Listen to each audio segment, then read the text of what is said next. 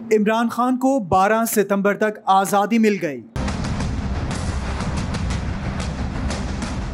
दहशतगर्दी के केस में अदालत ने बड़ा फैसला सुना दिया।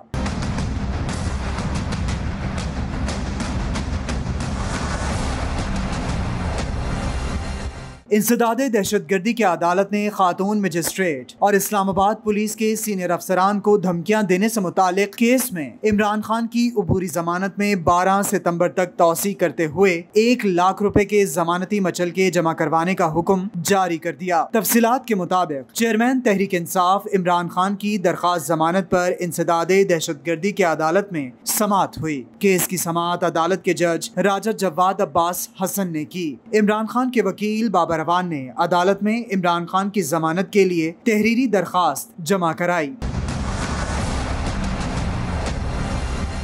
और जज से मुकालमा करते हुए कहा कि मेरे मौकिल को जमानत दी जाए, जिस पर जज ने रिमार्क्स दिए कि इसकी मिसाल नहीं, जो अदालत आता है, इसे जमानत मिलती है। आपके मौकिल को जमानत के लिए अदालत में पेश होना होगा।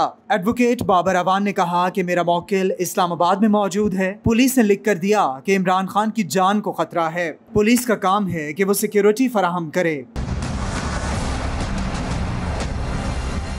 बाबर अवान ने कहा कि मेरे मौकिल को कुछ हुआ तो आईजी और डीआईजी ऑपरेशंस जिम्मेदार होंगे।